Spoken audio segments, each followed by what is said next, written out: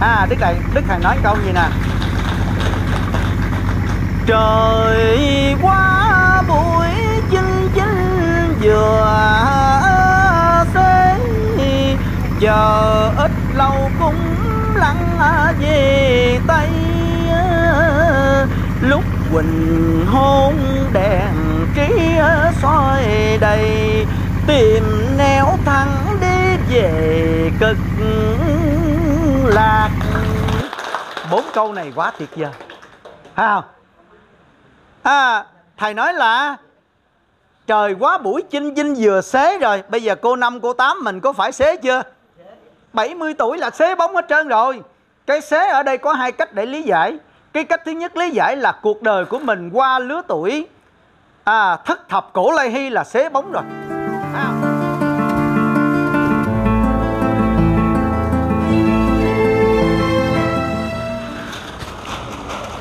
Nam mô Bổn sư Thích Ca Mâu Ni Phật. Nam mô A Di Đà Phật. Lễ phép cung kính Đức Thầy. À, kính thưa quý huynh đệ ở trong tỉnh thất của đệ Nam Khen. À, kính thưa quý cô chú anh chị cũng như các em cháu à, hiện diện kính mến. Ừ, kính thưa cô bác anh chị em mình. Thì hôm nay à, đúng là một hữu duyên. Lẽ ra thì tôi cùng với quý vị ở đoàn à, Dị Thanh à, đi qua bên à, nhà của chú Năm Đoàn thì nghỉ trong đêm nay và sẽ có một chương trình à, trao đổi Phật pháp ở bên ấy. Nhưng rồi à, lại gặp đệ ba truyền. Thì đệ truyền của bàn nói thôi mình về đây nghỉ ngơi. Thì sẵn tiện cũng có số bà con mình đi dự lễ. Thì cũng nghỉ lại ở tịnh liêu của đệ Nam Khen thì thôi sẵn về đây thăm lại mấy cô mình luôn à, chính vì lời bàn đó tôi thấy cũng hữu tình. À, thôi thì ở lại đây rồi à, à, nói chuyện vài mươi phút thời gian rồi cái sau đó mới về bên Hòa Hảo à, bên nhà của chú Năm để nghỉ qua đêm. À, sáng lại sẽ có chương trình ở bên bển. À, được sự ưu ái chung của tất cả quý vị tôi lấy làm một điều hạnh phúc vô cùng. Bởi trong cuộc sống của chúng ta đó Đức Thầy cho biết là à, cái điều hạnh phúc lớn lao nhất đó là mình sống trong an lạc cũng như Đức Phật Thích Ca Mâu Ni khi xưa hỏi ông A Nan và tăng đoàn, hỏi là tài sản lớn nhất của chúng sinh là gì? Thì ông A Nan trả lời là tài sản lớn nhất của chúng sanh đó là sức khỏe. Nhưng mà ông Đại Ca Diếp thì ông trả lời đó và Bạch Thế Tôn, tài sản lớn nhất của chúng sanh đó là trí tuệ. Rồi mỗi một người trả lời một ý một ý gì đó, thì Đức Phật Thích Ca Mâu Ni mới trả lời rằng, hôm nay tất cả các ông trả lời chỉ có một nửa của đáp đáp án thôi ta sẽ lấy một nửa đáp án của người này cộng với một nửa đáp án của người kia sẽ trở thành một cái đáp án của ta. À, vậy thì lấy cái đáp án của ông A Nan và lấy cái đáp án của đại ca diếp đó thành một cái đáp án chính xác nhất. Đó là tài sản lớn nhất của chúng sanh đó là sức khỏe và trí tuệ. Có sức khỏe mà không có trí tuệ thì đâu có làm được việc gì hay không? Rồi có trí tuệ mà không có sức khỏe cũng không làm được. Do vậy mà sức khỏe và trí tuệ không thể thiếu được cho nên hôm nay Đức Thầy mới khuyến khích chúng ta mở khai trí tuệ bằng một câu rất độc đáo. Đó là khá chí tâm học hành kinh sám, thoát nơi miền hắc ám phong ba, chở trơn cho kịp long qua, long qua có mặt ấy là hiền nhân. Vậy thì đây là cái điều hết sức là quan trọng. không? Rồi thầy khuyến khích thêm, thầy nói ta yêu chúng viết ra giảng kệ, khuyên tăng đồ, tức là khuyên cả bên xuất gia nha. Cùng các tín đồ, tức là đệ tử của thầy nghe cạn lời chớ có mờ hồ, tìm hiểu nghĩa làm theo đắc đạo. Vậy thì hôm nay chúng ta phát tâm quy theo đạo Phật giáo Hòa Hảo là chúng ta được tu trong cái đạo chánh. Nhưng mà đã chánh đạo rồi, bên cạnh đó cũng không thể thiếu ba điều căn bản. Điều thứ nhất, đó là học đạo. Điều thứ hai là chúng ta hiểu đạo. Điều thứ ba là chúng ta hành đạo. Rồi sẽ đến cái điều cuối cùng, đó là đắc đạo. Phải không? Cho nên đây là cái việc mà chúng ta phải ý thức được việc này để rồi mình à, tinh tấn thêm lên. Chứ kẻo không nó chúng ta luống bỏ đi thời gian nó rất là quan phí. Thấy không? Bây giờ xin hỏi lại tất cả những người tín đồ Phật giáo Hòa Hảo Đức Thầy khai đạo vào ngày, ngày 18 tháng 5 năm kỷ mão năm 1939 Đến ngày 25 tháng 2 nhường đinh hợi năm 1947 Đức Thầy đã vắng bóng. Và Thời gian của Đức Thầy quảng bá Phật Pháp là 7 năm 10 tháng 7 ngày Nếu cộng chung tính từ ngày vắng bóng đến ngày hôm nay Có phải chăng là 84, 85 năm gì không? Phải không? đã tám mươi mấy năm trôi qua đạo Phật giáo Hòa Hảo đã gần một thế kỷ rồi nhưng hỏi chung lại tất cả tín đồ Phật giáo Hòa Hảo từ đất nước Việt Nam cho đến toàn cả thế giới ai là người Việt Nam ai là người quy y theo đạo Phật giáo Hòa Hảo xin dõng dạc hỏi lên một điều rằng ai là người thuộc hết sấm giảng giáo lý của Đức Thầy? Cái câu này là ông Hai Tỷ ngày xưa ông ông nói với tôi rất là quan trọng với cô bác. Ông nói đó, mỗi một người tín đồ Phật giáo Hòa Hảo là phải không rời giáo lý của Đức Thầy. Để chi? Vì đó là kim chỉ nam là la bàn để đưa cho chúng ta đến mục tiêu nhất định. Thấy không? Mục đích của mình tu là để giải thoát. Mà hôm nay nếu không có nghiên cứu học hành theo giáo lý của Đức Thầy, thì lấy đâu ra sự hiểu biết ấy mà đưa chúng ta về cõi Phật? Thì đây là cái điều hết sức là quan trọng. Cho nên, ông mới nói như thế này nè. Ông nói muốn thuộc giáo lý của Đức Thầy là mình phải lập cái quy trình học tập.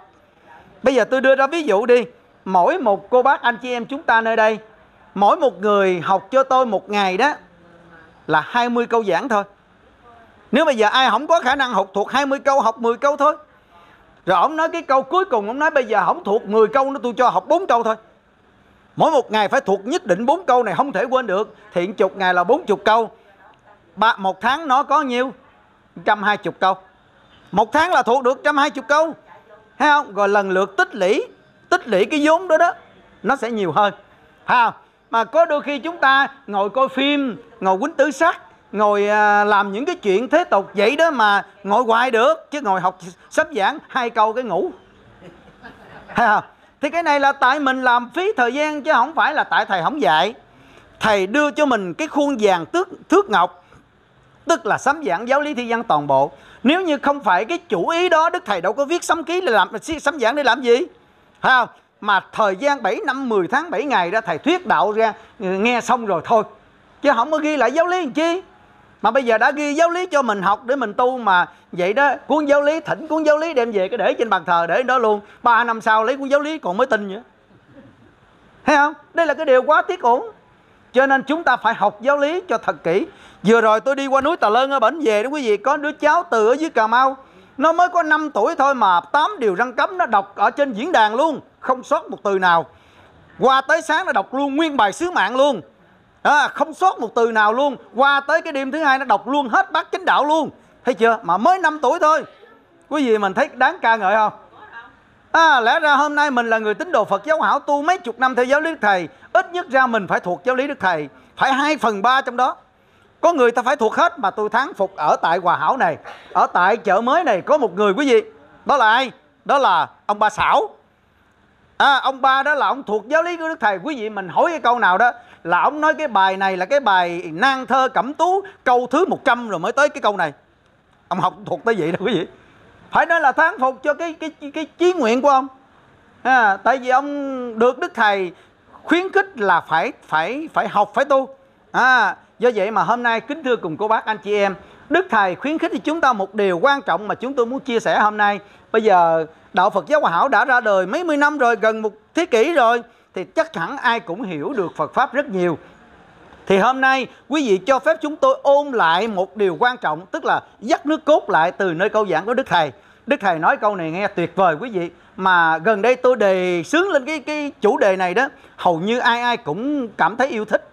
Cho nên hôm nay sẵn tiện làm quà tặng cho tất cả quý vị nơi đây luôn ha. À Đức Thầy, Đức Thầy nói câu gì nè.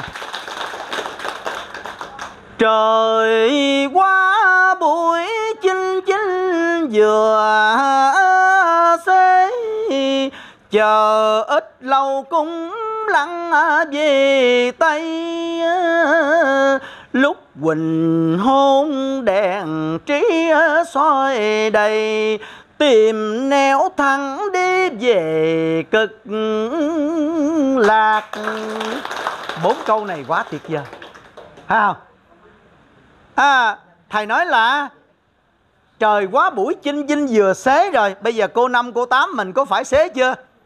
70 tuổi là xế bóng hết trơn rồi. Cái xế ở đây có hai cách để lý giải. Cái cách thứ nhất lý giải là cuộc đời của mình qua lứa tuổi. À, thất thập cổ lai hy là xế bóng rồi. Phải không? Và còn cái xế thứ hai nữa là gì? Cái xế bóng thứ hai nữa là trái đất này sắp hoại rồi. Phải không? Bởi vì đức thầy nói hoàn cầu trái đất chuyển xoay gớm ghê cho chúng phơi thay muôn ngàn. Ngày nay đạo đức chẳng màng chẳng màng tức là không có ngó tới đó. Cứ mãi lo theo công danh phú quý, cứ mãi thôi lo theo coi như là danh lợi tình sắc tài. Thấy không? Thành ra ngày nay đạo đức chẳng màng, rồi sau dẫu có tiền ngàn khó mua. Thấy không? Cái cái cái đợt covid vừa rồi đó, một cái vị coi như là giàu có nhất ở ấn độ ông tung tiền ra nguyên một cái cái cái cái cái thùng tiền của ông ông tung xuống dưới lộ không ai lụm chứ quý vị người ta nói lụm tiền không có no. Dịch nó tới rồi chết không lo rồi, ở đó lo lụm tiền chi? Thấy không? Vậy thì ngày nay đạo đức chẳng màng, tức là không có ngó tới đó. Rồi sau dẫu có tiền ngàn cũng khó mua. Biển sông lặn lội hơn thua tự thân tạo lấy mà mua cái sầu. Phật nhân tạo quá một bầu kẻ thanh người trượt mới hầu khác nha. Thấy không? Tại sao bây giờ đó là cuộc đời đã đi vào trong cái sự việc băng hoại. Ngoài ra, đức thầy còn cho biết thêm một điều nữa là gì? Thầy cho biết là đến chừng đó, bốn phương có giặc, khắp hoàn cầu thiết thiết tha tha.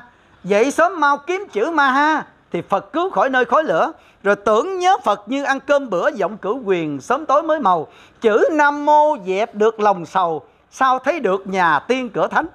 Thấy không? Tới lúc đó rồi bao la cảnh Phật cõi tiên tòng mai liễu trúc hữu duyên khoe màu Ngũ dân năm sắc năm màu kìa quy nọ phụng lao sao vui mừng gian dày sắm nổ chuyển luân kiển tiên lộ vẻ vui mừng cha con cái ngày đó là cái ngày vinh diệu nhất trong cái cuộc đời đau khổ mà chúng ta đã bắt gặp từ lúc sinh ra và trưởng thành. Cha mẹ mình sinh ra là cất tiếng nói đau khổ rồi. Thấy không? À, à, cất cái tiếng khóc chào đời là đau khổ rồi. Rồi bây giờ chúng ta lớn lên á, đấu tranh cho kinh tế cơm áo gạo tiền là đau khổ rồi. Thấy không? Quý vị mình nghĩ coi, bây giờ kiếm được tiền cơ cực ghê gớm lắm chứ không phải bình thường quý vị. Do là vậy mà hôm nay đó mỗi lúc đó cuộc sống của chúng ta lại càng sớm đi vào trong khó khăn đau khổ à, quý vị mình nghĩ coi bây giờ đó cái thời điểm bây giờ đó kiếm tiền tôi có thể tạm phân tách ra làm bốn cách kiếm tiền cái kiếm tiền thứ nhất đó là kiếm tiền để có được cái sự nghiệp để lo cho con cháu à, đến cái chỗ coi như là tốt đẹp vinh hiển thì cái kiếm tiền đó xong cái tạo một đống nghiệp phải không quý vị Thấy không? Vậy thì cái cách kiếm tiền thứ nhất để rồi chi? Để rồi tạo nghiệp. ấy trong kinh báo hiếu phụ mẫu ơn trong kinh được ông bảy Bùi Văn Hưởng đó ông tạm dịch ra gì nè. Ông nói là ơn thứ chính kể ra thảm thiết, vì nuôi con tạo nghiệp chẳng lành. Hoặc là phạm tội sát sanh, hoặc là đạo tặc kết thành nghiệp sao? Khi bỏ xác hồn vào địa ngục chịu muôn điều câu thúc phát răng, nghĩ thương cha mẹ vô ngần. Vì con mà phải trầm thắng sáu đường. Vậy có phải chăng cái điều đầu tiên chúng ta kiếm tiền rồi tạo nghiệp không? Bây giờ quý vị mình nghĩ coi, cái việc chánh nghiệp đó là đức thầy nói làm sao? Đức Thầy nói ta là cư sĩ canh điền, lo nghề cài cuốc cũng chuyên tu hành xa nơi tranh đấu lợi danh, giữ lòng thanh tịnh, tánh lành, trao tri gắn công trì niệm sớm khuya thân thi còn tục, tâm lìa cõi mê. Đó là chánh nghiệp đó. Tức là thầy cho mình làm ruộng, nhưng mà quý vị mình nghĩ coi làm ruộng kiếm được hạt lúa, hạt gạo để ăn, tạo một đống nghiệp ở trong đó đó. Phải không? Trước khi xả lúa là mình phải dọn đất. Mà dọn đất xong hết trơn rồi làm gì?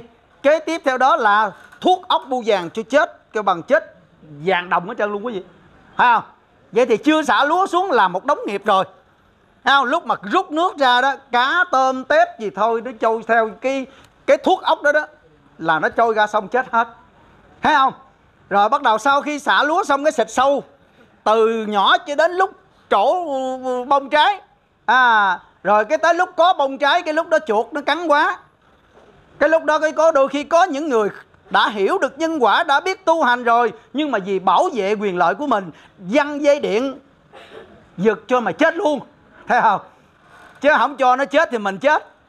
Thành ra cũng đấu tranh sự sống cùng nó luôn. Vậy thì cái này kiếm tiền để tạo nghiệp, đó là việc thứ nhất. Kiếm tiền để gì nữa? Kiếm tiền để tạo tội. Cái này tạo nghiệp xong rồi để tạo tội, tức là trộm cướp. Trộm cướp hen. Cái này kiếm tiền xong rồi cái bắt đầu đi ở tù đó là cách kiếm tiền thứ hai. Rồi cách kiếm tiền thứ ba đó là gì? Cách kiếm tiền thứ ba đó là kiếm tiền vì cái quyền lợi riêng mà sẵn sàng làm cho người ta phải chết, làm cho người ta đau khổ, ha. Rồi cuối cùng rồi bị tử hình luôn. Thấy chưa? Vậy thì kiếm tiền để để làm gì? Cho nên thầy dặn sao nè? Thầy dặn chúng ta là phải cần kiểm sốt sắn lo làm, ăn, lo tu hiền, chân chất. Cách kiếm tiền này hạnh phúc nhất nè. Vừa no đủ ấm, đèo bồng mà chi? Thành ra chúng ta kiếm tiền nhưng mà hãy thấy có nghiệp là bớt liền. Chứ đừng có để vì cái mục đích quyền lợi đó mà chúng ta kiếm tiền rồi của chúng ta tạo khổ. Như vậy thì cái cái đồng tiền kia nó nó không phải là quá ư trong sự nhu cầu cần thiết của chúng ta mà tại vì chúng ta mưu cầu quá. Ê, có đôi khi mình tu lâu mà mình bị tính lộn mà nói tính cất cái nhà lên cho nó rộng rãi đặng mà có khi đám tiệc mời đồng đạo tới đông để cầu nguyện nhưng mà khi kiếm tiền để cất được cái ngôi nhà lớn gì đó ha là một đống nghiệp trong rồi. Ha không rồi không lẽ kiếm uh, cất cái nhà xong rồi để làm gì? Để cái nhà trống lỏng vậy sao? À, bàn bạc vợ con ha à, trong nhà bàn bạc đó thôi bây giờ mình phải sắm uh, cái tủ thờ. Bên kia sắm cái lư quăng bên đây sắm cái giường hộp nhà cửa trong nhà trang trí nội thất xong hết trơn cái không lẽ để uh, cất nhà cửa khang trang hết trơn rồi không lẽ không đi tới đi lui? Uh, với đồng đạo cái sắm thêm chiếc xe à, sắm thêm chiếc xe xong cái làm thêm khúc nữa. Tặng lấy tiền đổ xăng chứ không có có xe không có tiền đổ xăng sao đi. Thành ra mình tính tới tính lui tính xuôi tính ngược tính làm để có được những cái điều kiện nhu cầu trong đạo không đó quý vị à. Nhưng mà tất cả những cái điều kiện đó vô tình mình tạo nghiệp không? Mất đi thời gian quý báu nữa. Vì vậy mà thôi ai mà cất nhà rộng mà bỏ trống lỏng gì đó là mấy người đó tu im đó quý vị. Tại tại vì không có bận lòng thấy không? Rồi nhà khỏi cần đóng cửa dụng thứ không có gì trơn đóng cửa làm chi? À, như vậy là thấy hạnh phúc không?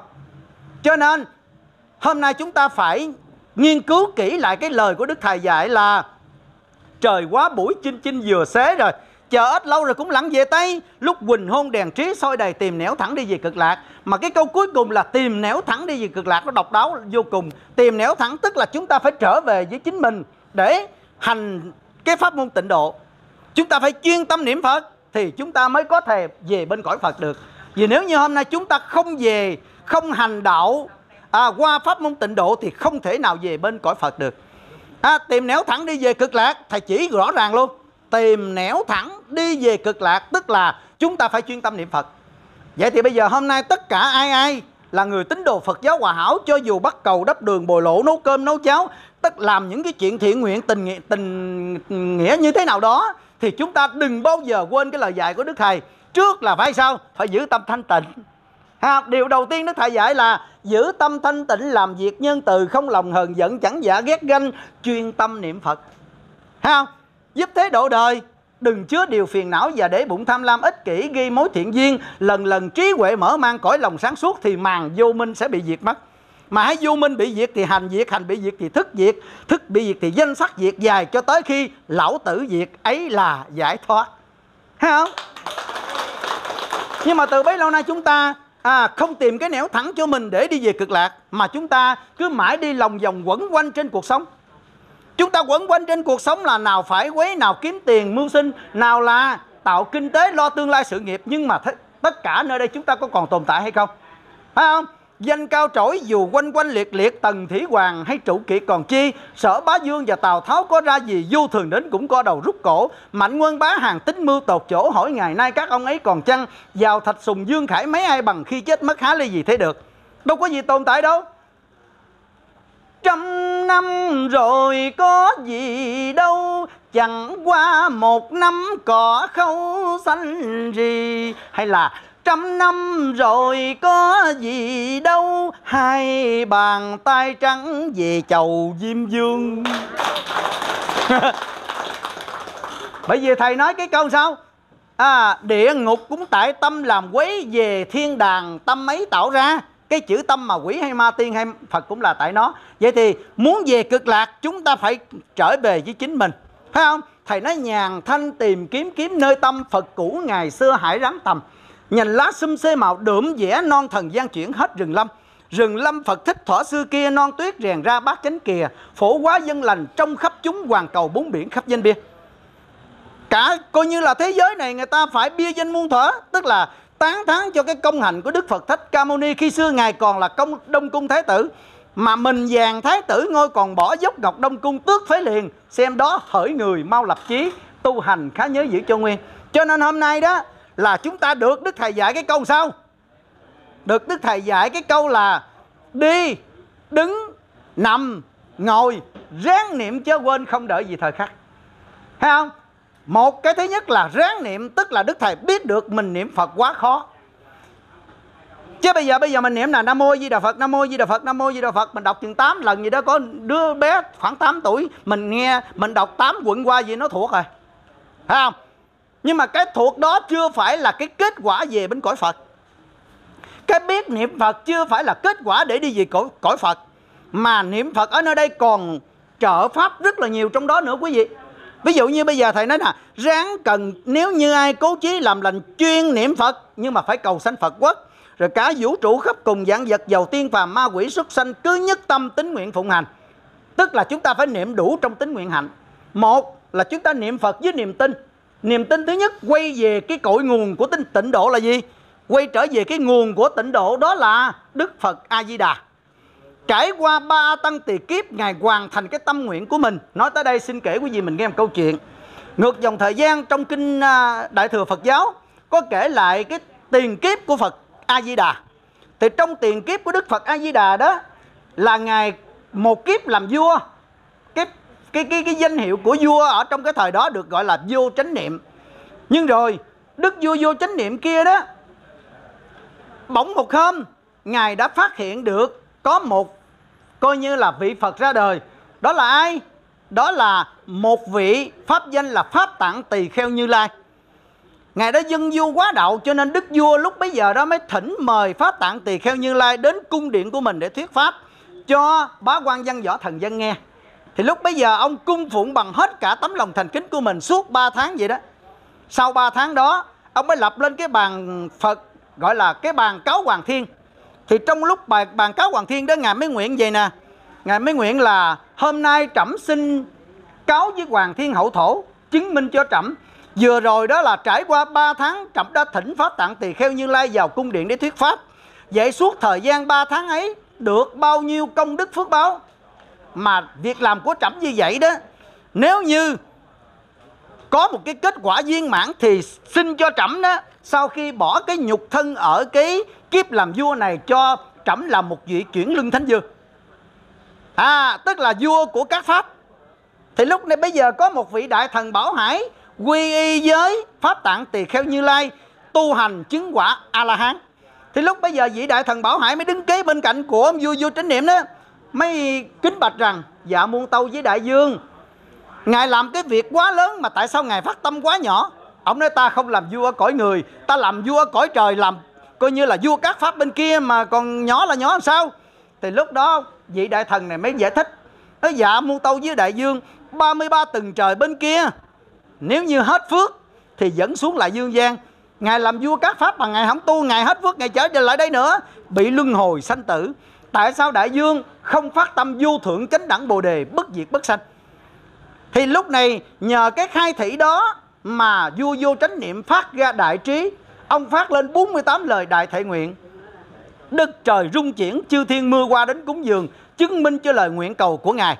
Và sau đó thì sao? Sau đó thì Ngài mới tu từng trong cái hạnh nguyện của mình. Và cuối cùng, trải qua ba tăng tỳ kiếp, Ngài đem hết tất cả công đức tu tập của mình Để trang nghiêm cho một quốc độ gọi là cực lạc. Đó là thế giới của cõi Tây Phương cực lạc. Hay không? Chứ cực là cùng tột, mà chứ lạc là an vui. Tức là Ngài đã thiết lập một quốc độ an vui, cùng tột. Để chi? Để tiếp độ tất cả chúng sanh. Nếu ai muốn về bên cõi Phật để cùng hưởng cái phước báo đó như Ngài, thì hôm nay mình chỉ cần niệm hồng danh của Ngài thôi, Thì sẽ có được cái kết quả viên mãn liền. Đó Cho nên ở đây đó, Đặc biệt có một điều là Gần đây không xa tôi có đọc lại Kinh Đại Thừa Phật Giáo. Lúc Đức Phật A-di-đà đang thuyết pháp ở bên cõi cực lạc cho chư Bồ Tát nghe. Bỗng ở dưới phàm gian mình gian lên cái câu A-di-đà Phật, A-di-đà Phật, A-di-đà Phật. Đức Phật A-di-đà bảo rằng Này chư Bồ Tát Trong cõi phàm gian có người đang tán thán danh hiệu của ta. Vậy ông hãy nhỏ một giọt cam lồ xuống ấy để ban phước lành cho người tán thán danh hiệu của ta. Thế là chư Bồ Tát cầm nhành dương liễu rải xuống một một giọt nước cam lồ rơi xuống dưới trần gian thì cái gia quyến của người đó và bản thân của người đó được hưởng điều phước báo. Mà cái phước báo ở dương gian là gì? Phải là vua, phải là tướng, phải là người giàu có. À, gia đình sum họp coi như là hạnh phúc. Đó là nhờ cái phước của chư Bồ Tát đã ban xuống mà do Đức Phật A Di Đà chỉ định xong song song bên cạnh đó có người lại niệm Nam mô A Di Đà Phật, Nam mô A Di Đà Phật, Nam mô A Di Đà Phật. Thì lúc bây giờ Đức Phật A Di Đà cũng nói: "Này chư Bồ Tát, ông hãy ban phước lành và và gia bị cho người ở trong cõi phàm gian kia. Hiện có người đang niệm danh hiệu của ta mà ngoài ra còn cầu về bên cõi của ta." Bởi vì có thêm hai chữ nữa đó là Nam mô không nam mô nó có năm nghĩa một là cung kính hai là quy y ba là quy mạng bốn là cứu ngã năm là độ ngã thành ra cái từ nam mô đức thầy dạy chúng ta luôn đủ hết, quý vị. Không có chỗ nào đức thầy dạy chúng ta có bốn chữ. Cho nên, nếu ai là người tín đồ phật giáo hòa hảo mà chỉ niệm bốn chữ, là người đó niệm thiếu. Thiếu cái gì? Thiếu sự cung kính, thiếu sự coi như là quy y, thiếu sự cứu ngã, thiếu sự độ ngã và thiếu đi cái sự thành tín của mình về bên cõi phật.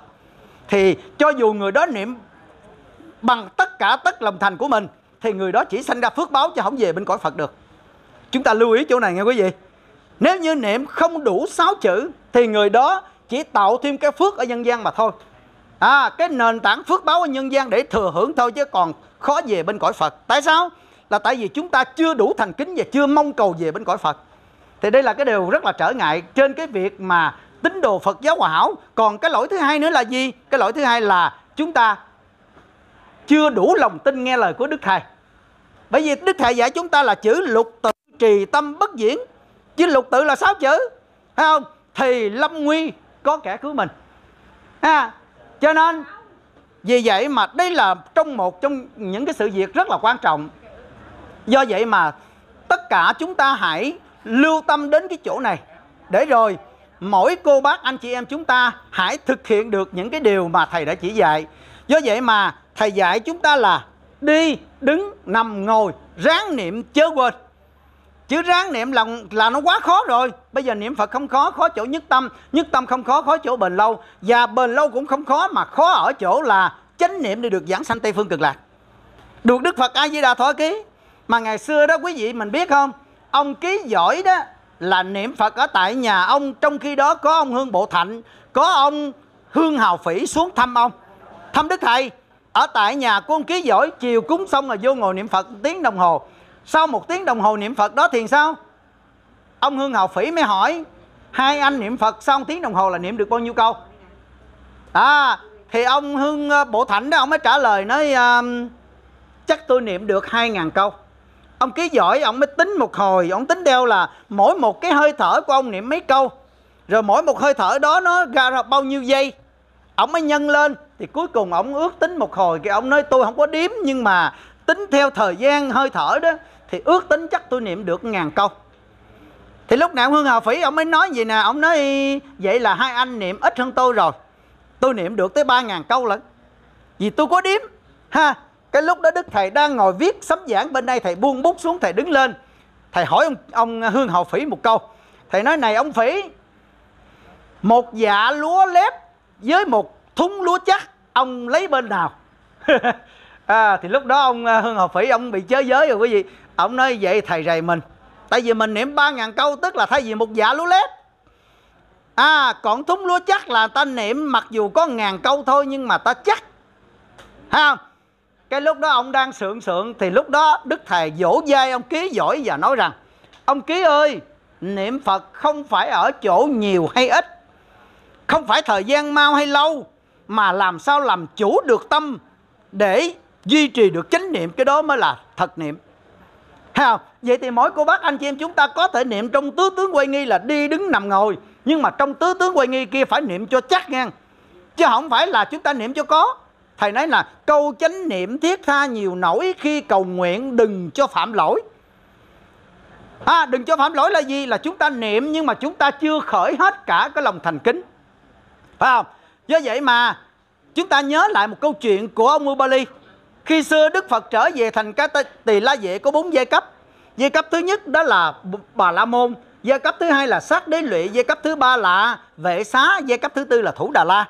Nhưng mà trong bốn giai cấp này có ai quý vị có cái giai cấp hạ tiện tức là cái giai cấp nô lệ đó giai cấp này đó gặp cái người mà cao thượng không dám nhìn à, thưa quý vị như vậy thì đức phật vì muốn sang bằng giai cấp mà bây giờ đức phật độ cho cái người giai cấp thấp nhất tu chứng quả. Ha. Thì lúc bây giờ ông mới cho dời cái ông Ubali đó đi vô gặp Đức Phật. Thì ông Ubali là dòng dõi hạ tiện mà bây giờ gặp coi như là Đức Phật là hơn cả Bà La Môn nữa. Mà ngài lại là dòng dõi sát đế lại là dòng dõi vua chúa, lại là càng kinh khủng hơn nữa. Thành ra ông chỉ cúi đầu đi vô một cách rung bẩy bẩy vậy nè.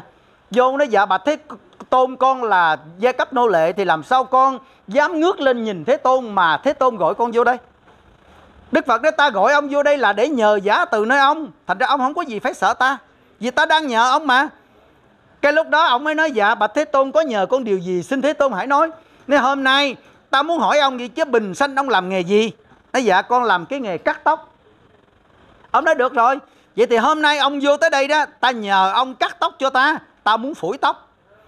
Thì lúc nào ông bali đó sợ lại càng sợ hơn. Tại sao? Là tại vì cắt tóc cho đức phật là phải dùng đôi tay. Coi như là hèn kém của mình đó mà phải để nên cái nơi cao nhất của đức phật, tức là cái đầu của đức phật. Thì ông lại càng tỏ hết cả lòng thành kính nữa. Cho nên ông phải nắm lên từng sợi tóc để cắt, chứ không có dám cạo như cái người bình thường. Thấy không? Thành ra ông cứ đem hết cả cái tấm lòng thành kính đó mà cắt từng sợi tóc, từng sợi tóc ông cắt qua. Hai canh giờ ông chứng quả a la hán thấy không? Là tại vì sao? Ông chưa có tu ngày nào hết đó quý vị. Nhưng mà sau hai canh giờ đó ông chứng quả luôn là tại vì ông đã đem hết cả lòng thành kính chánh niệm đó để cắt tóc cho phật. Do vậy mà ông đã có kết quả. Vậy thì tại sao tín đồ phật giáo hòa hảo không đem hết cả lòng thành kính đó trước khi chúng ta lên cúng? Thấy không? Chúng ta mặc cái áo lễ vô. Đây là cái chiếc áo dài, là áo lễ nghe. Sẵn đây sẵn đây nói tới cái vụ lễ nghi. Tôi xin Ờ, nói chuyện thêm tí xíu chỗ này quý vị kiều quan thông cảm nha. Tôi thấy có một số huynh đệ của chúng ta đồng đạo của chúng ta đó coi chiếc áo cúng này quá bình thường. Tại sao tôi nói quá bình thường quý vị? Vô trong à, cái đạo tràng mặc cái áo cúng để chuẩn bị cúng. Ví dụ như đi đám dỗ đám làm tuần đi. Vô mặc cái áo cúng lên rồi cầm cái nhang lên rồi nhưng mà vẫn nói chuyện riêng. Đây là cái điều bất kính thứ nhất cái thứ hai, sau khi cúng xong rồi còn gì nữa quý vị? Khi cúng xong rồi lỗ cái áo ra cái cuộn cuộn cuộn cuộn là nè, đem ra ngoài xe bật cốp xe lên cái kịch, nhét vô cốp xe. Xin thưa, từ đây về sau, nếu ai là cái người mà cốp cái áo cúng này vào trong cốp xe để lát nữa phải ngồi lên, thì quý vị nên lưu ý nghe. Sẽ có một ngày nếu như không sám hối ăn năn, đọa xuống vô địa ngục.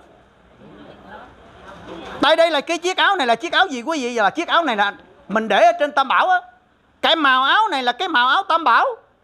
Mà bây giờ quý vị mình nghĩ coi, mình ngồi lên cái tam bảo mình tội cỡ nào không? Vậy thì, bữa nay sẵn quay phim, tôi nói luôn cho nó mạnh luôn rồi, sẵn có ai giận tôi giận. Mà giận tôi để có kết quả cho người đó thì cũng nên giận. Thấy không? Thành ra cái chiếc áo cúng là mình phải nâng niu bằng cả lòng thành kính, lẽ ra mình phải đội lên đầu gì mới phải chứ. Chứ có đâu, bỏ vô cốp xe rồi ngồi chết thấy không? Hả? Áo cúng hả? Hãy đem cái lòng thành kính của mình bằng tột độ. Ví dụ như bất đắc dĩ lắm, mà làm mình để ở một cái nơi cao quý thì được. Có nghĩa là tính từ phần thanh trở lên, tính từ ngang rúng trở lên đó là gọi là phần thanh. Thì chiếc áo về cúng này chúng ta có thể để đâu cũng được. Ví dụ như chúng ta xếp ngay ngắn gọn gàng lại xong rồi chúng ta để lên đây. Để lên vai của mình nè, phải không? Vậy thì từ phần thanh của mình trở lên là để đâu cũng được. Nhưng mà từ phần trượt trở xuống là không nên. Tại vì đây là sự tôn kính mà. Chiếc áo này còn thêm một ý nghĩa nữa là gì? Là gì? Đây là chiếc áo giới luật. Mình mặc áo này giống như là một nhà sư đã đắp đắp y thọ giới chứ không phải là bình thường. Thấy không? Thành ra hôm nay mình mặc cái chiếc áo về cúng, tôi xin thưa cùng quý vị nha hai tâm trạng nó khác nhau ví dụ như bây giờ vô tới cái chỗ trang nghiêm để cúng mà quý vị không mặc được cái chiếc áo cúng là tâm quý vị khác đó. Thấy không? Tâm quý vị thấy nó bình thường lắm. Có khi đang cúng uh, nam mô bổn sư thích ca mâu ni phật nam uh, nam mô bổn sư thích ca mâu ni phật ba lần nam mô a di đà phật ba lần nam mô phật tổ phật thầy cái điện thoại nó reo lên cái móc ra. Alo. Quý vị mình nghĩ coi cái này coi có còn cúng gì nữa không? Vậy chúng ta quá xem thường cái thời cúng. Chúng ta đang trình lên tới 10 phương chư phật ở bên kia bển á đang tiếp độ cái giống linh nè. Hồi nãy tất cả cô bác, anh chị em chúng ta đọc bài cúng xong, rồi ngồi niệm phật. Thì đây là cái điều mà công đức vô lượng. Thấy không? Niệm một câu phật là công đức vô lượng. Vô lượng công đức, vô lượng phước báo, vô lượng thọ, vô lượng quan và không còn tính điếm gì được nữa hết, quý vị. Và chúng ta niệm phật là coi như là giết tội hà sa. Cho nên, khi chúng ta đã niệm phật xong rồi, ngoài ra chúng ta còn niệm tây phương phổ độ nữa là chúng ta không chẳng những là cái người đang tu tập mà còn gửi lên cái tâm của bồ tát. Chỉ có bồ tát mới độ hết chúng sanh phải không? Vậy đó mà hôm nay chúng ta đem cái tâm Bồ Tát để kết duyên với chúng sanh. Nam Mô Tây Phương cực lạc thế giới tức là thế giới cực lạc. Tam thập lục dạng ức tức là Tam là ba thập là 10 à, Lục là 6 tức là 36 dạng ức. Nhất thập nhất dạng là 11 dạng Cửu thiên ngũ bá là 9.500 Vậy hồi chú nãy chúng ta đọc có 36, 37 chữ thôi Mà quý vị mình biết cái công năng cỡ nào không? Định nghĩa của nó là 36 dạng ức 11 dạng 9.500 chư Phật ở bên cõi Tây Phương để tiếp độ cho tất cả chúng sinh trong 10 phương pháp giới. Cái công năng của nó quý vị mình thấy là bất khả tư nghị chứ không phải là chuyện đơn giản đâu. Cho nên chúng ta được khởi xướng cái câu Nam mô Tây phương cực lạc thế giới tam thập lục dạng ức nhất thập nhất dạng cửu thiên ngũ bá đồng danh đồng hiệu chứ đồng danh là cùng cùng một danh hiệu đồng hiệu tức là cùng niệm. À, vậy thì đồng danh đồng hiệu gọi tới đại từ đại bi. Phổ độ chúng sanh a di đà phật mà đại từ đại bi là hai trong tứ vô lượng tâm. Đức từ đức bi đức khỉ đức xã thấy không? Vậy thì mình niệm phật trong đại từ niệm phật trong đại bi niệm phật trong đại hỷ và niệm phật trong đại xã thấy không? Khi chúng ta niệm phật rồi, thì sao? Khi chúng ta đối cảnh chúng, tâm chúng ta vẫn đi vào trong cái trạng thái của kiên định đó mà an lạc. Thấy không? Thì chúng ta đối cảnh một cách nhẹ nhàng. Còn nếu chúng ta niệm phật mà không đi vào trong bốn đại đức của phật, tức là không đạt đến cái cảnh giới đại từ, đại bi, đại hỷ, đại xã thì khi đối cảnh tâm chúng ta sẽ phiền động. Thấy không? Cho nên đức thầy mới dặn dặn thêm chấp tay niệm phật di đà lòng ta ta biết cái mà mặc ai và còn đặc biệt hơn nữa là gì? Đức thầy cho biết là mặt Tình ai dèm pha tai tiếng sửa tâm lành như miếng hoa thơm. Đến chừng qua trổ nhị đơm Thì là trần thế mới hờm vẽ qua Chứ bây giờ đó hen, Thật ra mà nói Đức Thầy Nhắc ra thì dạ ngọc đớn đau, Không nhắc đến biết đâu dân sữa. Lời Cái lời của Đức Thầy Trước khi vắng bóng, Tức là ngày 25 tháng 2 nhường đinh hợi năm 1947 Thầy đau xót lắm quý vị. Đức Thầy cho biết cái câu sao? Thầy nói, lòng trẻ thảo biết đoàn biết kết, Phí sát phàm mê mệt đâu này. Băng rừng dẹt phá gốc gai Đưa người lương thiện đến ngay Niết Bàn. Ừ Nhưng mà mình ở đây đó quý vị, Mình không nghe lời thầy than. Thầy than Thầy than là coi như mình đã riêng pháp bảo riêng chùa riêng Phật trong bá tánh sầu thành chất ngất mãi nghi năng chẳng biết đằng nào Không biết ai để theo. Bây giờ chia phe chia nhóm làm đủ chuyện hết. À, như vậy thì đâu còn tinh thần đoàn thể nữa đâu ạ. À? phải không? Cho nên ở đây đó đức thầy đau xót nói lên là biết chừng nào được quy nhất thống. Khắp hoàn cầu dân biết thương nhau dắt nhắc ra thì dạ ngọc đến đâu không nhắc đến biết đâu dân sửa mà quý vị mình nghĩ coi đức thầy đã đi đến hai chữ vô lượng luôn đó chứ không phải là tu bình thường. Đức thầy vì đức thầy là phật cho nên nên ngài có vô lượng từ ngài có vô lượng bi ngài có vô lượng hỷ ngài có vô lượng xã còn mình chỉ có tu trong bốn đức đó thôi chứ thật ra chưa được hai chữ vô lượng. Phải không quý vị? À, ai mà làm cho mình giận cái rồi đó ha tôi nói thiệt tôi gặp ông đó là tôi chỉ nể ông là đồng đạo của tôi thành ra tôi chào ông tiếng chứ. Thật ra trong lòng tôi nó ghét dữ lắm hay không tiếng chào mừng cửa miệng làm màu trong tâm ý mưu mô đủ thế. Cho nên thầy nói làm, tại mình quấy cái bị quá bự đi rồi thành ra mình quên anh em. Thấy không? Thầy nói câu sao? Thầy nói bị háo thắng diệt người không thấy, Rồi mãn lo dèm xỉm nhiều lời đâu. Vì vậy nên tình nghĩa xe lơi đâu gần gũi mà tường nghĩa lý. Thấy không? Rồi cái câu thứ hai nữa, thầy nói bị gì? Bị danh lợi mới xe lơi tình nghĩa. Mãi tranh giành sôi xỉa cùng nhau, Phơi thay mà chẳng núng nao tranh cùng với đoạt chừng nào mới thôi. Thành ra chúng ta niệm Phật là phải niệm trong điều răng cấm thứ 8 của Đức Thầy đó. Nó có cái kết quả vô vô cùng vô tận. Là tại sao? Tại vì Đức Thầy nói, tóm tắt ta phải thương yêu lẫn nhau như con một cha. Ở đây có phải con một cha không quý vị? Phải. Phải là con một cha, thành ra mới ngồi gì nè. Chứ phải không, con một cha là đi chỗ khác rồi. Đúng không? Thành ra, tóm tắt ta phải thương yêu lẫn nhau như con một cha. Rồi là gì nữa? Phải dìu dắt lẫn nhau vào con đường đạo đức. Cái câu này còn độc đáo là nếu ai giữ đặng trọn lành, trọn sáng. Mà nếu được trọn lành, trọn sáng thì về đâu? Về nơi cõi tây phương. Mà hồi nãy thầy nói là tìm nẻo thẳng đi về cực lạc là ở bên tây phương á. Phải không? Vậy thì bây giờ, ở đây ai là người giữ được trọn lành trọn sáng. Đâu quý vị mình giơ tay lên giùm tôi coi, đặng tôi mừng coi. Vậy là cô này giữ được trọn lành, trọn sáng rồi, phải không? Có biết trọn lành là gì, trọn sáng là gì không?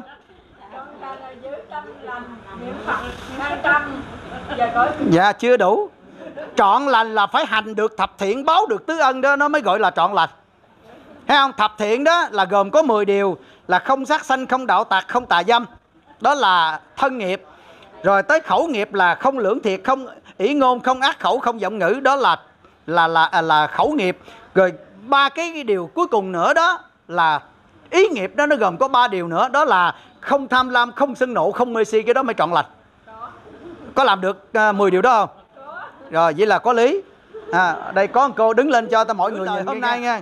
À, rồi bây giờ báo tứ ân một là ân tổ tiên cha mẹ vậy có trọn hiếu với mẹ cha chưa chưa có hiếu đâu gọi là trọn lành. Phải không? Vậy thì đừng nói là mình trọn lành. Đấy đó phải không? Vậy thì bây giờ trọn lành đó là phải phải coi như là hành thập thiện báo tứ ân, mà trong đó tứ ân đó là cái ân thứ nhất là ân tổ tiên cha mẹ cái ân thứ hai đó là ân đất nước, ân thứ ba là ân tam bảo, ân thứ tư đó là ân đồng bào nhân loại. Mà làm xong tứ ân đó đó, mới gọi là trọn lành. Vậy là đền ân tam bảo là đền ân ở chỗ nào? Thấy không? Vậy thì mới mốt phải hiểu rõ tí xíu mới dám nhận lời nghe để thôi, bị khảo à. Ờ nói tôi hôm nay tôi giữ được trọn lành là mình bị khảo banh bê sườn luôn đó. Chứ không phải chơi à. Có cái cô này đó là ở tại, coi như là thúc nốt mình à chỗ tại gần cầu cả ngãi á quý vị. Chứ không đâu xa hết á. Cả ngãi bích dàm ở bên Thốt nốt đó. Cổ lên trên núi cấm á, lên ngay cái vụ đầu của núi cấm á. Cổ nói hôm nay đó con kính lại coi như cửu quyền thất tổ và tam bảo ở tại vụ đầu. Hôm nay đó con đã tu tinh tấn lắm cho nên con muốn gánh hết nghiệp của chúng sanh. Vừa mới nói gánh hết nghiệp của chúng sanh là bắt đầu tóc nó dựng lên rồi bắt đầu chạy không? Rồi về tới nhà khùng luôn nội mình lãnh nghiệp cho mình không mà còn không hết đó chứ, đừng có nói mà nói là lãnh nghiệp cho cửu quyền là đã quá rồi, mà nói lãnh hết nghiệp cho chúng sanh. Phát nguyện một câu một rồi khùng liền đó. Thấy chưa? Thành ra mình phải nhớ nghe, mai mốt là phải nhớ làm sao là nếu nói, nếu làm được, hả, dám đứng lên nghe với tôi thì tôi không dám rồi đó. Ở đây là ở trong cái cái cái cái cái cái cái gương YouTube này đó ha. Có thể nói là mấy chục ngàn người trên thế giới người ta đang xem ở đây tôi xin thưa cùng quý vị là tôi chưa giữ được trọn lành, trọn sáng, mà hôm nay tôi đang tu ở trong cái điều răn cấm thứ 8 của Đức Thầy. Phải không? Trọn lành là phải hành thập thiện báo tứ ân mới gọi là trọn lành. Rồi trọn sáng đó là phải giữ giới luật và hành bát chánh đó mới gọi là trọn sáng. Quý vị mình thấy kinh khủng chưa? Ra hôm nay mình là người tín đồ Phật giáo Hòa Hảo, Hai từ trọn lành, trọn sáng, tôi là mình tu hết cả đời luôn quý vị à. Chứ không phải chỉ tu trong một ngày, một bữa đâu. Tu hết cả đời phải nói là tinh nghiêm giới luật. Rồi hành trì bát chánh đó à, Từ ở trong coi như là mỗi một cái cái nghĩ của chúng ta cũng chân chánh Cái nói chúng ta cũng chân chánh Cái làm của chúng ta cũng chân chánh. Và không một sự sai sót nào Cái đó mới gọi là trọn vẹn. Hay nói tới đây khó quá rồi sao tu? Thôi nhưng mà khó khó chứ đức thầy nói câu này mình tu được nè. Thầy nói hành y thì đáng vàng mười. nhưng mà câu thứ hai thầy nói tùy lòng tùy sức của người đời nay. Khó khó chứ cũng làm được. Thấy chưa? À, tùy lòng tùy sức của người đời nay là có nghĩa là mình sẽ tu bằng hết khả năng của mình là được. Chứ không phải vì cái khó đâu mà mình không làm. Bây giờ biết rằng đó là khó nhưng mà mình làm bằng hết cái khả năng của mình đi rồi sẽ được đức phật đức thầy che chở cho chúng ta. Coi như là đem cái tha lực đến để giá trị hộ độ cho chúng ta thì hãy có niềm tin trọn vẹn nơi điều ấy. Chúng ta sẽ có được cái kết quả. Cho nên vì vậy mà mỗi cô bác anh chị em chúng ta niệm phật hãy nhớ một điều là ráng niệm và chớ quên. Chớ quên đi cái cái cái cái tâm nguyện của mình về bên cõi phật. Ráng niệm, tức là dù cho khó lắm rồi nhưng chúng ta vẫn niệm. À đó rồi, chớ quên, tức là không bao giờ quên đi cái cái hồng danh của Đức Phật A Di Đà mà trong mỗi phút giây chúng ta đều lưu ý, lưu tâm. Để làm chi? Để chúng ta có thể trực giác mọi lúc mọi nơi. Thì cái đó mới gọi là là biết trở lại với chính mình. Hãy trầm lặng quay hồn trong định tĩnh, bước đường trần, ta quyết định lối đi. Dù gian lao khổ khó chớ ngại gì đều đều bước đi về nơi bổn nguyện. Thuận với nghịch lòng ta đừng sao xuyến ghét cùng thương chỉ biểu hiện vô minh. Trở về ta ta sống lại với chính mình để tìm lấy một tình thương bất diệt. Chứ trên thế gian này, quý vị ơi, nhân vô quả quản bất hồi đầu. Khi mà tới đường cùng mà lúc đó mới đi tu không à? Thấy không?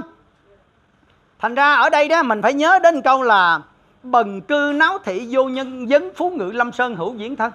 Nghĩa là người nghèo ở giữa chợ không ai hỏi tới trơn á. Hôm nay mình chưa có đắc quả, không ai lại mình hết á. Tới chừng cái ngày nào mà đắc đại cả thế giới này lại. Thấy không?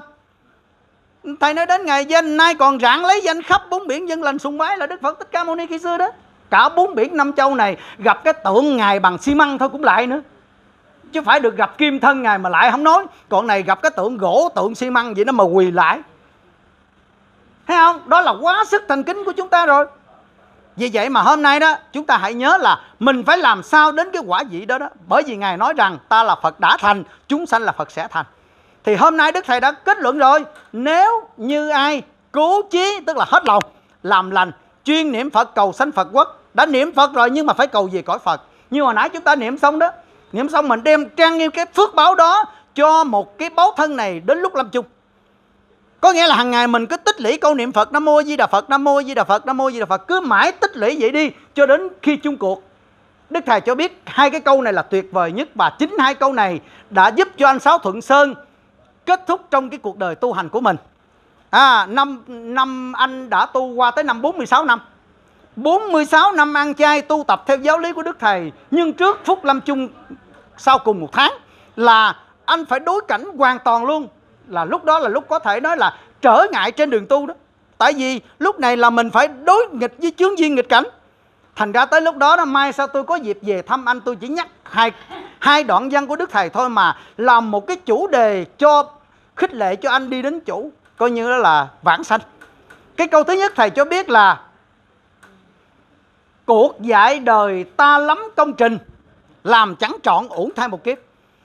Có nghĩa là lúc nào chúng ta cũng phải nhớ đến cái công trình vĩ đại của Đức Thầy Vì chúng ta, vì chúng sanh mà lâm phàm độ. Thì mình hãy hết lòng cung kính Thầy làm theo những lời Thầy đã dạy. Chắc chắn chúng ta sẽ được về bến cõi Tây Phương Cực Lạc. Đó là cái việc thứ nhất. Câu thứ hai Thầy nói là có thiện căn sớm lại cửa thiền. Câu niệm Phật chờ ngày chung cuộc. Tức là niệm Phật để chờ chết đó. Thành ra hôm nay có đôi khi mình đang khỏe mạnh Mình niệm Phật cái bon bon vậy đó. Nam mô A Di Đà Phật Nam mô A Di Đà Phật Nam mô A Di Đà Phật. Niệm bon bon vậy đó mà tới bệnh lên cái niệm không vô. À, Bởi vì gần hấp hối tâm thần sao sát trí Vẫn dơ kinh sợ vô cùng. Rồi mòn lần đến lúc lâm chung giả cõi tạm Theo đường cột tội phước. Thành ra tới lúc đó niệm không có vô. Vì vậy mà hôm nay chúng ta hãy quân tập Để cho chúng ta có được câu chánh niệm đi và khi chúng ta có được chánh niệm thì khi lâm chung chúng ta dùng trí tuệ bát nhã của mình để chiếu phá vô minh bằng cách là nhục thân này phải bỏ rồi chúng ta mới về cõi Phật, thì chúng ta không còn sợ đau nữa. Thấy không? Chúng ta đâu còn sợ đau nữa đâu mà giờ đây chỉ còn nhớ hồng danh của Đức Phật để bỏ, để chờ đợi bỏ đi cái nhục thân này đặng về bên cõi Phật. Vậy thì có ba sự chờ đợi chúng ta về bên cõi Phật. Một, thứ nhất là Đức Thầy cho biết là ở Tây Phương chư Phật ngóng trông Rồi chờ gì? Chờ bá tánh rủ nhau niệm Phật Thấy không? Rồi sự chờ đợi thứ hai nữa là gì? Sự chờ đợi thứ hai nữa đó là Sen nở đợi chờ Thầy nói ao sen báo Tây Phương đua nở Rồi tới chờ gì? Ô, thuộc hết trơn rồi nói gì nữa Công nhận đồng đạo mình hay quá. Thành ra nói mới nói một câu là thuộc tới câu thứ hai rồi nói chi nữa? Thôi mình kết thúc đề tài đi được à à, vậy thì bây giờ cái chờ đợi thứ hai là gì? Chờ đợi thứ hai là sen nở đợi chờ tức là ao sen báo tây phương đua nở. Mà nguyên do nào đua nở quý vị? Nguyên do đua nở là bên này chúng ta đua nhau niệm phật. Bên sen bên kia mới đua nhau đua nở còn nếu chúng ta bên này không đua nhau niệm phật thì bên kia sen cũng héo luôn. Phải không? Cho nên hôm nay đó, đức thầy đã nhấn mạnh qua một câu như thế này nè. Thầy nói à, nay à, tôi à, ở trong đạo tràng cũng như kết chặt vào đoàn ngọc châu mười phương phật hiện bầu hình anh. Có bóng tôi cùng sanh các ngày từ chân cho chí mặt mày. Cuối đầu làm lễ nguyện rài, quý thành ra hôm nay mình mình ở trong cái đạo tràng như thế này là bên cõi tây phương cực lạc, hiện bóng mình ở bên kia. Hôm nay tôi ở trong đạo tràng cũng như kết chặt vào đoàn ngọc châu, mà ngọc châu là phật châu. Thì mười phương phật hiện bầu hình ảnh liền. Thấy không? Có bóng tôi cũng sánh các ngài. Thấy không? Vậy thì từ chân cho chí mặt mày cúi đầu làm lễ nguyện rài quý y là quá tuyệt vời. Vậy thì cái điều chờ đợi thứ hai đó là sen nở đợi chờ chúng ta. À, thần thức nhập thai sen tinh hảo nên chẳng màng lo nổi khổ sanh. Thân thì thân công đức hiền lành bất di dịch khỏi gì khổ lão. Thấy không? Thể thanh tịnh thường không quyên náo hết lo toan nắng lạnh gió mưa Khổ bệnh kia bởi đó mà chừa ta thoát cuộc lao đau vì nó. Rồi đường sanh mãn Phật ta đồng thọ Tánh an nhiên bất diệt trường tồn tử Thần kia đâu dám bắt hồn. Thoát luân chuyển khỏi đeo khổ tử. Rồi tới về bên kia rồi là cuộc y thực muốn chi đủ thứ. Không nhọc nhằn lo việc sanh nhai, Trí yên nhàn nhìn cảnh Phật đài khỏi quả khổ mưu cầu bất đắc. Cả thải chúng hải đều vững chắc, toàn dân lành đâu có đắn đo. Dứt ái ân quyến thuộc chuyện trò, Thoát sống khổ thương yêu ly biệt. Chữ hòa thuận kể sao cho xiết. Tâm đồng nhau thượng thiện vui dày. Cảnh như như chẳng có đổi thay, Không màng biết phân chia nhân ngã. Rồi sẵn dĩ ngôi rành phân thượng hạ. Khỏi khổ câu quán ghét gặp nhau, Thân tâm thường trụ hết rạc rào. Chất thu trượt tiêu tan mất cả Cõi tịnh độ lắm điều thanh nhã. Khổ, buồn, rầu, lo sợ chẳng còn. Chúng ta bà tim lùng dầu mòn thân tứ đại của người cũng thế. Mau thức tỉnh tu thân kẹo trề Đến tội rồi mới hối muộn màng. Chỉ cho bằng ta sớm lo toan Dình giới luật nghe kinh trọng Phật. Đến lâm chung quả lành đậu mất cõi tây phương chư phật đợi chờ. Nhưng mà hai câu sau nghe rỡn óc nghe quý vị. Thầy nói việc tu thân thiện tính hững hờ. Chứ hững hờ là sao lãng đó? Chừng quả đến e cho khó tránh môn tịnh độ là phương cứu cánh, là may mắn quá. Nhờ tha lực của phật, ráng phụng hành kẻo phủ phật xưa lòng từ bi chẳng quản, nắng mưa sông thuyền giác rước đưa sanh chúng. Trong một nước nhân tài hữu dũng kẻ tu hành đa phước thì nên quyết trao thân tánh hạnh cho bền, niềm ân nghĩa toan đền dứt nợ, ao sen báo tây phương đua nở chờ chúng sanh niệm phật chí tập. Như vậy thì hôm nay, điều thứ nhất là chư phật đợi chờ, điều thứ hai là sen nở đợi chờ, điều thứ ba là cận tử nghiệp chờ cận tử nghiệp chờ là chờ chết đó. Ha đây, đức thầy cho biết qua câu. Ai coi qua xin đừng bỏ làng gắn công trình dạch lá tìm sâu. Nay dương trần gặp bụi mưa ngâu, phải sớm hứng giọt sương đông hà điên nhân nghĩa, điên gì đạo cả. Thôi chào đời khép cửa buồn duyên. Có thiện căn sớm lại cửa thiền. Câu niệm phật chờ ngày chúng cột vậy thì cái thứ ba là gì? Cái thứ ba là cận tử nghiệp chờ. Nhưng mà đừng để cho cái thứ tư nó chờ. Quý vị biết cái thứ tư chờ là ở đâu chờ không? Ông diêm dương chờ. Đức thầy cho biết là cõi âm thần bệnh sái dịch ôn chờ mặn phước ra tay, bẻ hỏng. Thấy ghê chưa? Cửa tiên ban hỡi còn khóa cổng nhà cha xưa, cửa đóng then gài. Thấy con nào hiền thì dạng thảo ngay. Đứa ngỗ nghịch là một mai đứt cổ còn nếu mình là người tu ha lỡ không ai chưa kịp được về bên cõi Phật, chưa được giảng sanh có xuống với Diêm Dương chứ đó, ông Diêm Chúa ông cũng không dám hành phạt nữa. Tại vì mình đã làm lễ quy là tên tuổi của mình nó đã có bên Tây Phương rồi. Thấy không? Thành ra kiếp này chưa thành Phật, đầu sanh thêm kiếp nữa để tu. Đức Thầy kết luận là vì linh hồn chưa hoàn toàn tròn đạo hạnh mà đắc quải dị nên phải làm con người, đầu sanh làm con người ở thế gian. Cho nên lúc mà mình chết cái rồi xuống với Diêm Chúa, với ông cũng mời uống nước trà luôn tu có lợi vậy đó chứ không dám hình phạt. Tại vì mình tu là con của ông Phật, rồi Diêm Chúa không dám hành phạt nữa. Bằng chứng qua giáo lý Đức Thầy nè. Diêm phù chân chúa chọn người tu, Hành phạt các khung chốn cửa tù. Tiếp nghinh những kẻ lòng nhân đức ờ, Hỡi bơ dương trần hải ráng tu. Mình ráng tu đi chứ không ráng tu đi xuống dưới nó mệt lắm. À, Vậy thì nếu lần này chúng ta hãy cố gắng ăn chay Cố gắng làm lành, cố gắng niệm Phật Và cố gắng thực hiện tất cả những gì Đức Thầy đã chỉ dạy Nhất là cái điều răng cấm thứ 8 Thấy không? 8 điều răng cấm nhưng chia ra làm ba đoạn. Cái đoạn thứ nhất đó được gọi là nhân đạo Chúng ta hành trì từ câu thứ nhất Tại vì cái điều thứ nhất ta chẳng nên uống rượu cờ bạc áp phiện chơi bời theo đạn điếm phải giữ tròn luân lý tam can ngũ thường thì điều này chỉ cần tránh nên cái là mình xong cái cái cái giới thứ nhất. ha không? Vậy thì từ điều thứ nhất cho đến điều thứ sáu đó là nhân đạo. Qua tới điều thứ bảy đó là thánh đạo nha. Vì đứng trước mọi việc kia về sự đời hay đạo đức, ta phải suy xét cho minh lý rồi phán đoán việc ấy thì người này bước lên cái quả gì của thánh nhân à. Tại vì chúng ta làm mà có suy nghĩ. Thấy không? Rồi bây giờ tới điều răng cấm thứ 8 là gì? Điều thứ 8 là Phật đạo. Tại vì chúng ta đã thể hiện trên một tình thương vô bờ bến, cũng như Đức Thầy của chúng ta khi Đức Thầy dấn bóng, Thầy còn để lại trong sấm giảng giáo lý thi văn toàn bộ với một điều quá quan trọng, quý vị. Đức Thầy nói sao? Thầy nói dù cho họ có làm quấy với mình, cũng không vì cái quấy của họ mà trả thù, mà phải làm phải hoài hoài với họ có phải là thầy vô lượng xã không, quý vị? Tuyệt vời luôn.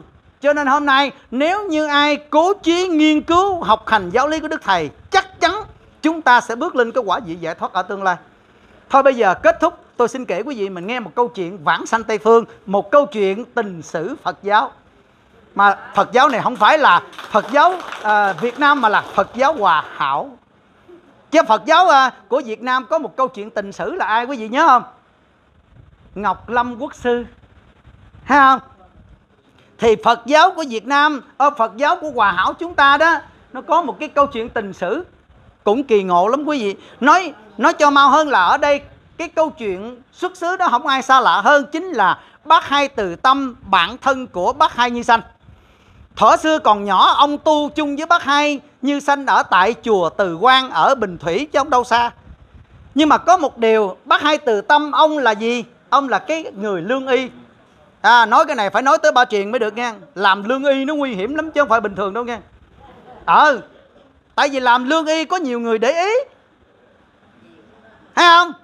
Thành ra ông bác hai từ tâm đó ông coi mạch bốc thuốc là đại tài luôn. Trị bệnh cho ai cũng hết. Nhưng một hôm có một cô thiếu nữ ở cần thơ là mang một chứng bệnh nan y mà không bác sĩ nào không lương y nào chữa trị hết.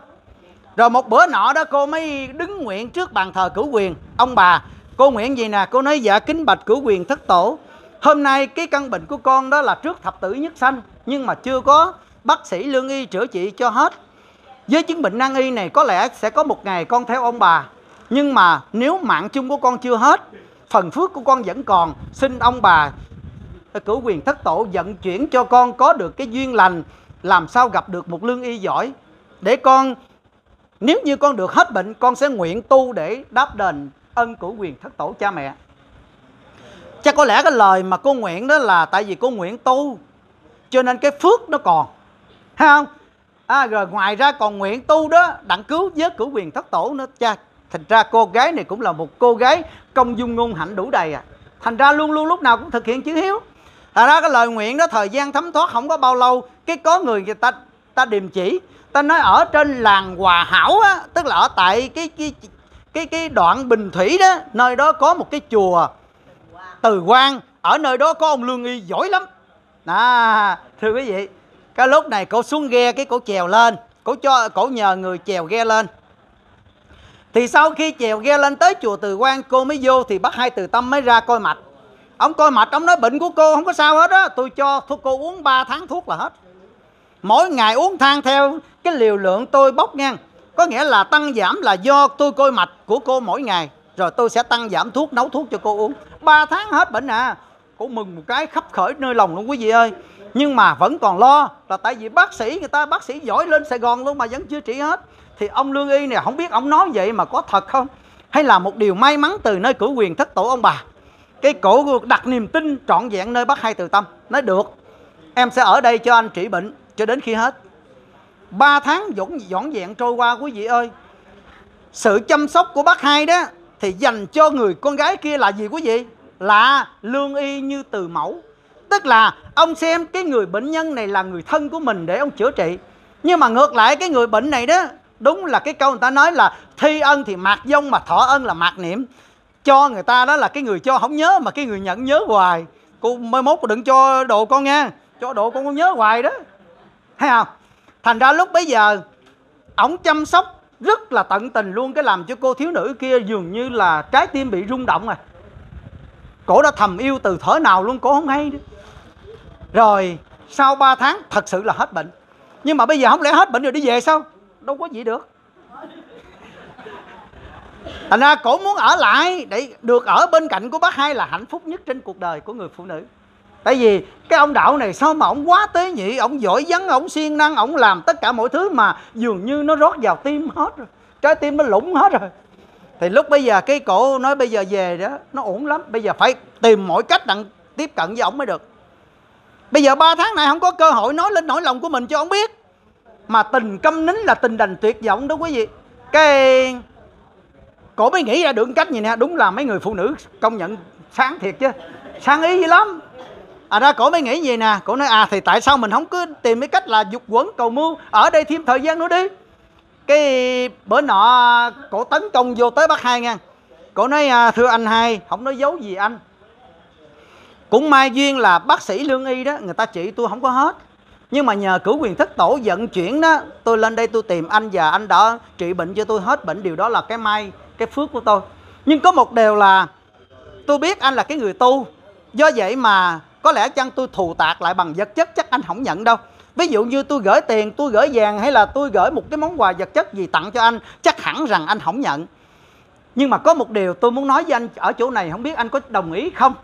Thì bác hai nói ở sao thì thì cứ nói đi cho người ta mới biết có đồng ý hay không thì cứ nói đi.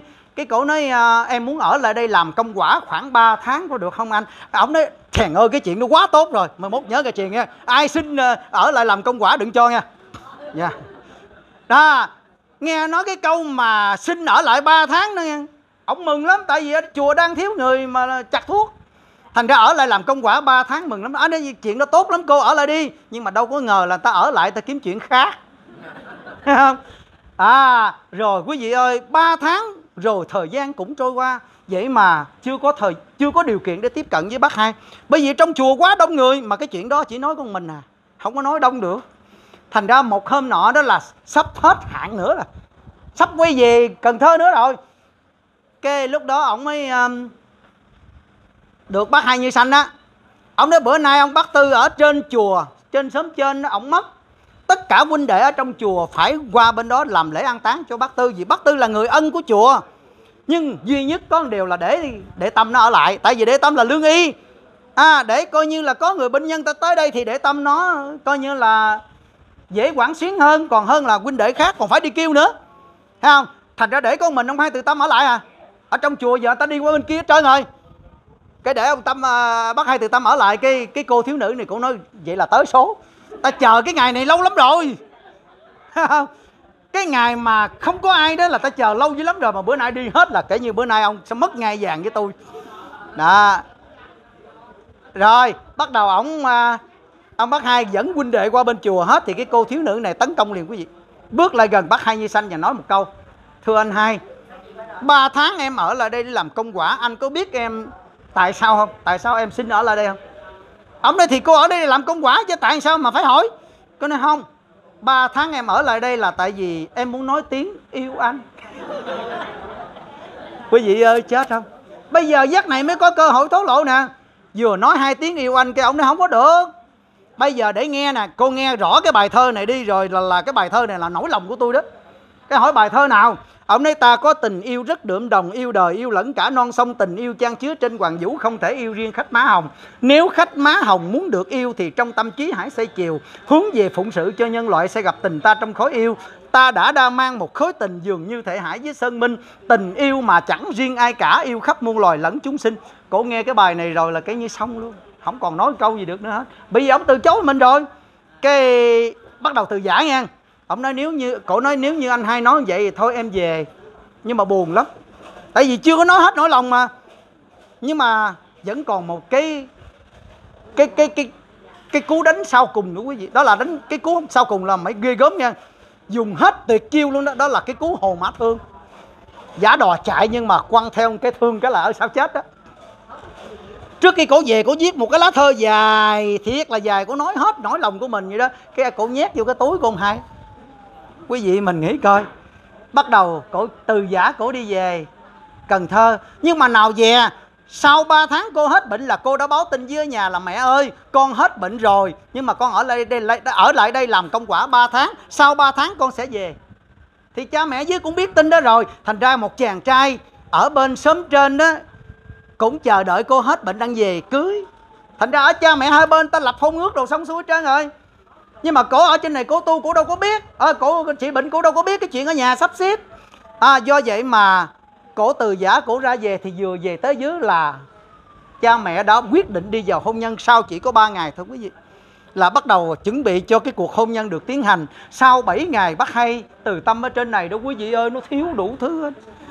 Giác sáng ra thì không có nước rửa mặt à, không có bàn chải đánh răng rồi tối ngủ không có người văn mùng áo dơ không có người giặt à, áo rách không có người giá tôi nói sao chỗ nào nó cũng thiếu chứ cái tự nhiên nhớ cái cô đó ghê rồi nhớ quá à biết làm sao giờ bây giờ tính đi giải khuây thôi. Cái mấy qua nói với bác hai như xanh đó anh hai anh hai anh cho tôi mượn cái xe đạp đi ờ, dạo thăm đồng đạo dài hôm được không anh hai? Cái à, bác hai như xanh thì ông biết rồi. Ông thấy cái mặt buồn xô là ông biết rồi không phải cái chuyện đi thăm đồng đạo mà đi thăm cái cô kia thấy không? Ông nói thôi để đi đi. Nhưng mà nhớ nghe. Cái cửa chùa từ quan lúc nào cũng đón chờ để quay trở về. Cánh cửa chùa từ quan luôn luôn lúc nào cũng mở rộng để chờ để quay về. Ông biết cái chuyến đi này là thập tử nhất sanh chứ không phải chơi à. Ông phóng lên chiếc xe đạp của ông hai đó. Ông dắt ra ngoài đường, chuẩn bị sẵn hết cái vô ship đồ. Mừng lắm, bị được chiếc xe mừng lắm mà dắt ra để sẵn nó luôn. Coi như là là tranh thủ vô ship đồ ship đồ ship đồ, cái sau ở trong túi áo nó cộm cộm lên. Ông nói, ông hai như xanh này, tâm lý ha. Mình mới có tính đi cái ông bỏ tiền túi à. Nhưng mà để cho ông cho được nhiêu, móc ra không phải tiền, mà là một lá thơ. Ông đọc hết cái lá thơ, ông nói, gì này mà không chết sao được? Rồi ông thấy cái địa chỉ luôn trong tay nữa là quá rồi, còn gì nữa? Phóng lên xe đạp, bon bon bon, tới dưới Cần Thơ dưới, đạp còn hơn xe 50 chạy nữa nhưng mà có một điều là chạy xuống gần tới cái địa chỉ đó ông mới bật địa chỉ ra là còn cách ba căn nhà. Nhưng mà để cho chắc ăn ông ghé lại ông hỏi một ông lão ông hỏi chú ơi chú cái cô quỳnh qua lá thấm ở trong cái à, lá thơ này đó nhà gần tới chưa vậy chú? Cái ông bác kia ông dòm dòm hơi cái ông nói ủa mà chú tìm cái cô đó làm chi vậy? Cái lúc đó à, ổng cũng hơi ngại ngại ông nói thì con tìm uh, người bạn mà con thích vậy mà cái lúc đó ông lão bên kia ông mới nói gì nè, ông nói, chú ơi, thôi về đi. Tại vì cái cô bên kia cổ lên xe hoa rồi. Sát pháo còn tản mạng ở bên kia kìa, rạp chưa gỡ nữa kìa. Lúc này ta nói nghe, dường như là mọi sự bế tắc hết quý vị. Ông mới ngâm lên bốn câu thơ để quay về. Tôi đến với qua thì qua lại nợ tôi đến với đò thì đò lại sang sông tôi đến với em thì em lại có chồng. Sao em nỡ đành lòng bỏ anh? Rồi, phóng lên xe đạp mà đạp tôi nói đạp hết nổi luôn, đạp giống như là xe chạy ngược chiều gió vậy đó. Chạy về tới chùa từ quan quăng cái xe đạp cái đùng nữa anh hai, tôi trả xe cho anh đó. Cái lúc này anh hai, ông hai như xanh ông mới mỉm cười, ông nói, kẻ chiến thắng đã quay về đó, phải không? Nhưng mà cái này là chiến thắng ăn may thôi. Thưa quý vị, thì sau đó là sao quý vị? Ông bác hai từ tâm, ông quyết định không bắt mạch cho ai, cũng không hút thuốc cho ai nữa. Giờ đây chỉ còn có một cái câu là tìm nẻo thẳng năng đi về cực lạc. Ông chắp tay lên, ông niệm phật. Ông nói niệm phật ở chùa này cũng không im nữa. Bây giờ tôi kiếm chỗ nào cho im nữa, tôi niệm phật. À bắt đầu ông chạy lên cô út đồng. Cô út đồng cổ nói bây giờ để muốn niệm phật, tôi đưa để lên núi bà đổ ôm luôn rồi lên núi bà đô ôm cái ông niệm phật qua một tăng luôn, coi như là bảy, tám tháng trường, xong hết cái bác hai từ tâm cảm thấy rằng mình là đã được đi vào trong chánh niệm Phật đã thọ ký. Ông mới đi thăm hết đồng đạo qua một vòng trở về chùa Từ Quang, thăm lại bác hai như xanh cái đêm sau cùng. Tức là lá rụng rồi cũng về cội. Ngày xưa bác ở tại chùa Từ Quang thì hôm nay viên tịch cũng phải ở tại chùa Từ Quang. Cho nên khi ông quay về tới chùa Từ Quang, ông tâm sự hàng nguyên với bác hai như xanh và tất cả huynh đệ ở tại đó. Và ông khuyến khích là tất cả huynh đệ ơi hãy cố gắng chuyên tâm niệm Phật. Vì ngoài pháp môn niệm Phật chúng ta không còn có cách nào vượt bờ sanh tử được đâu. Thì lúc đó ông vô niệm Phật xong và sau buổi nói chuyện đó ông mới mặc áo dài cúng trang nghiêm đàng hoàng. Ông mới viết lên cây cột vào lúc 12 giờ đêm Nguyễn Từ Tâm tịch. Rồi ông vô sắp xếp đồ đạc đâu đó, đó để đàng hoàng bên tay trên chấp tay vào ngực niệm Phật. Tới sáng ông hay như xanh tới cái giờ cúng sáng rồi ông hay như xanh ông mới ra ông nói tâm ơi sáng rồi cúng sáng để ơi ông kêu ba lần như vậy đó, mà ông hai từ tâm nín thính à. Ông mới qua ông kế bên cái mùng, ông nhìn vô thì ông hai từ tâm vẫn còn chấp tay nhìn nữa, quý vị. Ông biết rồi. Ông nói từ tâm bổ để giảng sanh rồi hả tâm. Hỏi thêm câu nữa, mặc dù biết nhưng vẫn hỏi thì bác hai cũng im lặng. Ông dở cái mùng lên tất cả đều trang hoàng hết thế là ông đã chuẩn bị cho một chuyến xe về cực lạc quá tuyệt vời. Thưa quý vị, thôi câu chuyện tới đây cũng khép lại chương trình ha. Vậy kính mong tất cả quý cô bác, anh chị em hãy nhớ cái câu chuyện này. Tất cả mọi việc thế gian, Cho dù hạnh phúc, Cho dù là an vui, Cho dù là đủ đầy, Nhưng tất cả chúng ta chỉ là sống trong ảo vọng, đau khổ. Chỉ cho bằng, Ta sớm lo toan dình giới luật nghe kinh trọng Phật, Thì đến lâm chung quả lành đâu mất cõi Tây Phương chư Phật đợi chờ Thưa quý cô bác, anh chị em, Nhưng câu chuyện này có một điều kháo khỉnh Là bác hay Như Sanh đó, Ông đặt cái câu chuyện này với một cái tên rất vui. Cái gì, biết cái tên gì không? Ông nói là giảng sanh ăn mai cái cô kia mà không có chồng là tới số. Quá may luôn. Thành ra ông để cái tựa đề là giảng sanh, nhưng mà ở sau hai chữ ăn may nó vui vô cùng. Thấy không? Thành ra tôi với ba truyền cũng sống được tới ngày nay, còn độc thân là ăn may. Thấy không? Tôi là ba truyền là năm khen nè bây giờ mà còn sống độc thân như vậy là với sáu mẹo rồi đó là ăn may là tại vì mấy cái cô mà mình thương bây giờ mấy cổ có chồng hết rồi. Thành ra ăn may thôi. Thấy không? Thì thôi bây giờ sẵn cái đà ăn may này thì mình phải tiến tiến tới. Ta là người chiến sĩ mà tâm tư ta là bãi sa trường cùng quân thù là bè lũ ma dương. Phải quyết chiến tiêu tan, diệt tận quyết làm sao cướp được ải niết bàn, treo quỳnh kỳ phất phới ánh vinh quang. Đến lúc đó mới cầm chắc trong tay nguồn thắng lợi. Đó vậy thì trước khi dứt lời, không quên đốt nén hương lòng nguyện cầu ơn trên mười phương chư phật. Hồng dạ.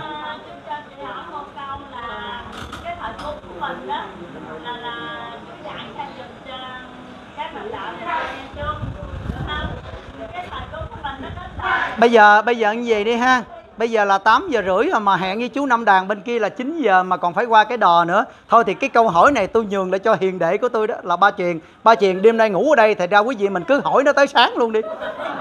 Là nó trả lời được hết trơn. Với lại ba truyền là sở trường nghi vấn còn tôi là thở sở trường thuyết giảng. Chứ không có nghi vấn thành ra bây giờ nhường lại cái hội trường cho ba truyền muốn quý vị muốn hỏi nhiều đó là cứ hỏi tới sáng. Ha à, thông cảm nghe chị tại vì hẹn ở bên kia đã tới giờ phải đi rồi và trước khi dứt lời không quên kính chúc cho tất cả cô bác, anh chị em thân khỏe, tâm an và tiến tu cho đến ngày thành công viên mãn. Để xứng đáng với câu mà thầy cho biết là ước trăm họ nhẹ mình có cánh, đồng bay về cực lạc một đàn nam mô a di đà phật.